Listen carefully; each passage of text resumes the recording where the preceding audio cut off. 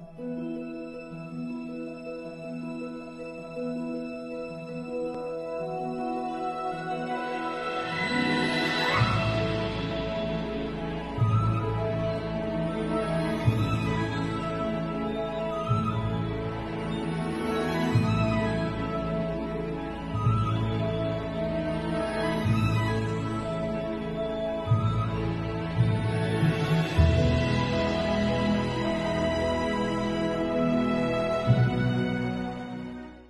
Hello mga best, welcome back again sa ating channel sa inyong mga bago dyan. Nice to meet you and welcome sa inyong lahat. And maraming salamat sa inyong patuloy na nanood dyan at nag-share ng inyong ideas and comments. Shoutout sa inyong lahat. Sana nasa healthy, happy, and safe life kayong lahat mga best. We thank God for everything. And we ask for forgiveness sa ating mga kasalanan and we pray na sana ibalik na ni Lord sa normal ang buong mundo. In Jesus' name, Amen. Shoutout sa inyong mga best. Pero mag-ikot muna ako ng sinsing. May ganong factor talaga. Oh my God, nandito siya sa broken heart. Sino ngayon ang nanood na broken hearted? Huwag kang mag-alala, best. Dapat mag-party ka dyan. Bakit? Panahon na para matagpuan mo ang afam na talagang para sa iyo. Yung destiny mo. Yung afam na tataglay ng ugaling hanap mo. Kaya yung mga afam na nawala sa inyo, bakit? Hindi sila para sa inyo, best. Lalo na pag sinaktan kayo. Ano pang dahilan para i- i-mood mo niyo yung sarili sa taong hindi kayo mahal. Sayang time and effort ninyo. So, magpasalamat pa kayo at nawala yon at sana may leksyon kayong natutunan sa mga afam ninyo. Go, go, go ang life and be patient at sali ka sa Christian Philippine dating site best na meron ako sa description box. Nandun ang destiny mo nagantay. May ganung factor talaga, te. Sure ka, te. Ganun. So, shoutout sa inyo. Diretso ako mag-comment sa isa sa nag... Um, magbasa sa isa sa nag-comment dito. Napili kita best kasi interesting ka and I know marami ding makarelate sa'yo. So, shoutout sa iyo. May ganung factor. Good day, Ate Sally. Ako po yung sender mo dati na humingi ng advice sa'yo na may afam ako na nakilala sa date in Asia. At tama po kayo na ibasura na siya. At ginawa ko po yun. Tapos may nakilala po akong afam sa Christian Filipina na taga USA po siya. At uh, napakabait niya. Araw-araw po kami nag-chat at nag-video call compare sa mga nakilala ko na afam sa ibang dating site. One month pa lang po kami, Ate Sally, pero nag, nakapagpadala na siya sa akin ng pera. At ang sabi niya, ibili, ibili daw niya ako ng sasakyan. Gustong gusto na po niya na magkapunta na ng Pinas para magkita kami. Random ko po siya na seryoso siya sa akin at mahal na mahal daw niya ako. At ayaw niya na may at ayaw niya na mawala ako sa kanya. Sabi niya, pag na, sabi niya na napakaswerte daw niya at na-meet niya ako, nakilala niya ako sa Christian Filipina. At gusto niya daw po akong pakasalan dito sa Pinas. Pero ang problema ko po eh, hiwalay siya sa asawa at hindi pa sila divorce. Ano po ang dapat kong gawin, Ate Sally? Bigyan niyo naman po ako ng advice. Sana po mabasa ninyo ito. Maraming salamat po, Beth, sa pag-share mo. And we're happy for you. And hindi lang ikaw, maraming lahat dyan ang may katulad mong sitwasyon. Ang afa mo ay na-meet mo sa Christian Filipina. Congratulations sa iyo at sa mga sa mga sa sa mga sa mga taga shout out diha. sa inyong mga meron ng afam nang dahil sa Christian Filipina. And we're happy for you best at sana yung mga kausap ninyo afam at okay okay. Sana yan na yung destiny niyo. Be the best that you can at isipin niyo na lang if siya, siya. If hindi, is hindi. At enjoy niyo lang yung moment. So, be the best that you can. Yun lang ang mahalaga. At uh, yun lang, mahalin nyo, nyo pa rin ang sarili nyo higit pa sa kausap ninyo. Kasi hindi nyo pa sigurado ang future. Masigurado nyo lang yan kung pinuntahan na kayo at magpakasal na kayo. So, okay si Afa mo best. At may plano pa siyang, nagpadala na siya sa ng pera in one month. At may plano siyang bibilhin kanya ng, bibilhan kanya ng sasakyan at pakasalan ka dyan sa Pinas. Yan ang pangarap mo best, di ba? Isa yan sa mga pangarap mo. Ang problema mo lang is, hiwalay siya at hindi pa sila divorced. Kung ang afam ay mahal na mahal ka, gagawa ng paraan yun, best. At talagang itutuloy talaga niya yung mag-divorce na sila. Kasi hindi siya pwedeng magpakasal hanggat hindi siya divorce. Kailangan niyang mga paper, mga documents, isa yan sa kailangan, yung divorce uh, do, divorce document. So, kailangan yan. So, kung mahal ka ng afam mo, at mahal ka rin siya. Kung baga, kung mahal ka ng afam mo, gagawa talaga siya ng paraan na ma-divorce siya at maging malaya siya para magpakasal sa iyo. At kung ikaw naman ay mahal mo siya, uh, kailangan mo magantay best. So, kailangan be patient. Kung anong meron kayo ngayon sa sitwasyon nyo, uh, medyo makontento ka dyan. Maging, mag-enjoy ka lang dyan. At uh, pakita mo lang sa sarili mo na kung siya, ikaw talaga ang piliin niya, hindi siya nagkamali. Na you're the best Filipina. You're one of the best Filipina. Mara lahat naman tayo the best. So, para ma-feel ng afam ninyo na hindi sila nagkamaling kayo ang pinili. So, intayin mo lang na ma-divorce best. Kasi marami nang yan dito na hindi rin minsan, hindi rin madali mag-divorce kasi maraming, maraming, tina depende sa sitwasyon kasi yan. Yung kakilala ko, medyo matagal kasi depende sa sitwasyon nga. Yung iba, ang bilis lang na divorce. Kasi normal lang naman dito pag hindi na talaga magkasundo. Nag, ganun ang ginagawa. Normal dito yung divorce, yung ganyan. Kasi anong purpose na magtuloy-tuloy parang kayo, hindi na kayo masaya at hindi nyo na gustong-gusto ang isa't isa. Hindi nyo na gustong isa't isa, anong purpose? So, mag-divorce talaga. Meron din akong kakilala, sobrang bilis nilang na-approve yung divorce. Depende yan. So, kung mahal mo ang afa mo, continue, lang, continue mo lang best kung anong ginagawa nyo ngayon si Apam gagawa ng paraan yan para ma-fully free na siya para magpakasal sa iba. Ituloy-tuloy mo lang. So, pagmasdan mo lang yung mga sinasabi niya. Kung ang mga sinasabi niya ay gagawin ba niyang totoo. Ganun lang yun ba? So, wag mo lang masyadong stress yung sarili mo. Enjoy mo lang kung wala ka namang ginawang masama na masaktan yung pamilya niya. Ganun. Basta, nandyan ka lang. At uh, kung anong ginawa ng afa mo, kung baka suklian mo lang din ng ng tiwala or pagmamahal na alam mong kaya mong ibigay.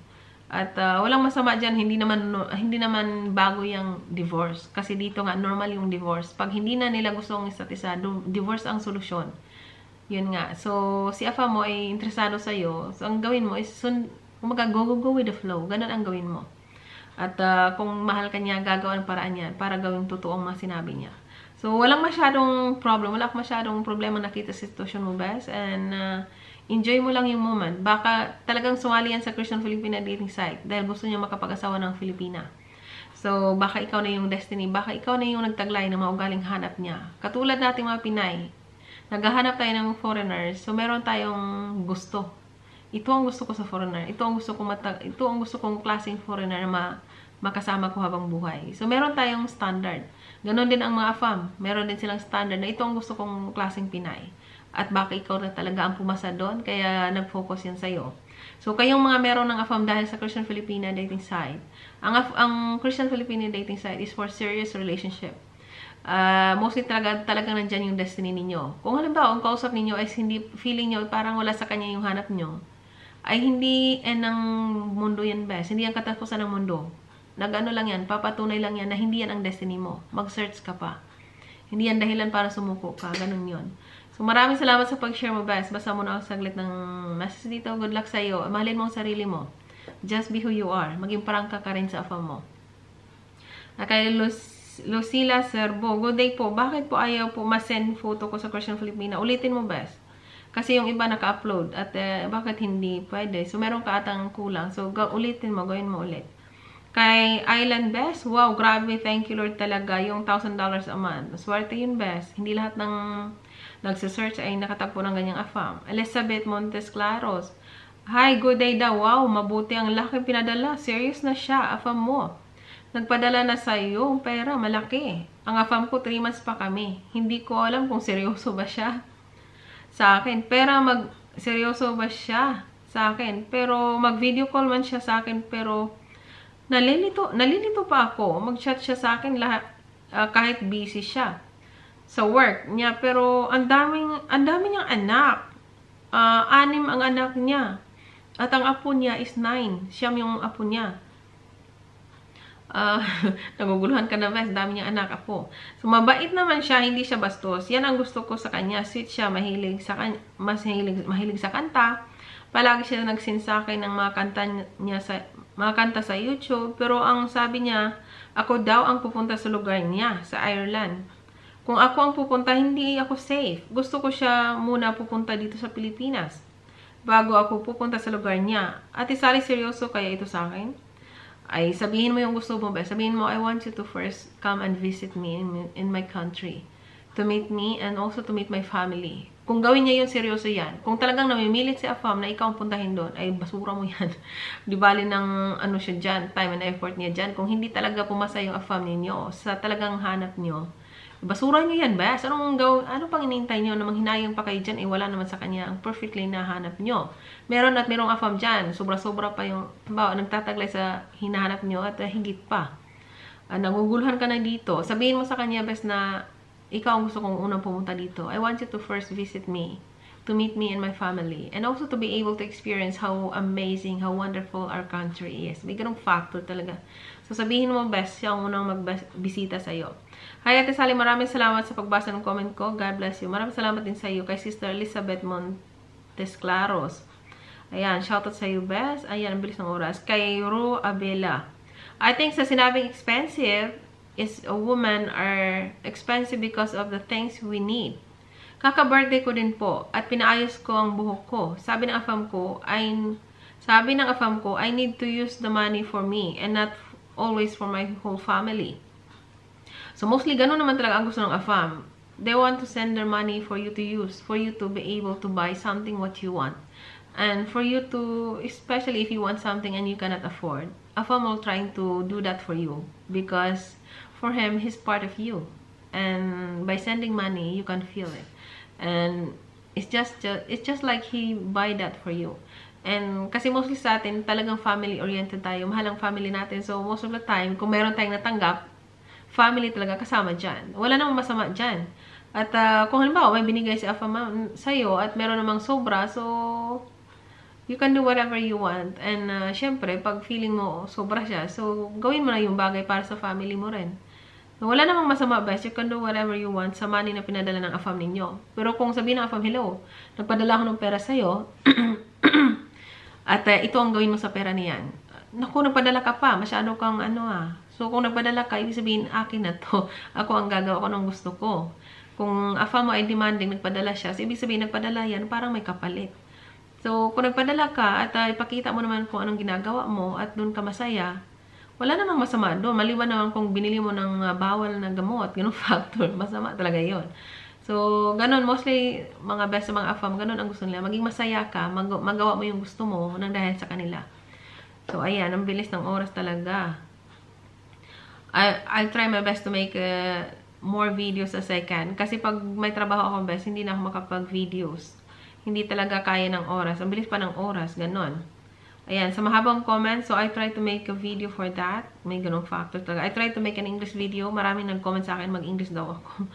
Kay Sister Nancy Caliente, si Sally, tama po kayo. Di naman, di naman mainit at pinagpawis-pawisan at pinagpawisan. So, normal po yan. Kasi afam ko, dalawang araw din nagpapalit sa loob lang ng bahay niya.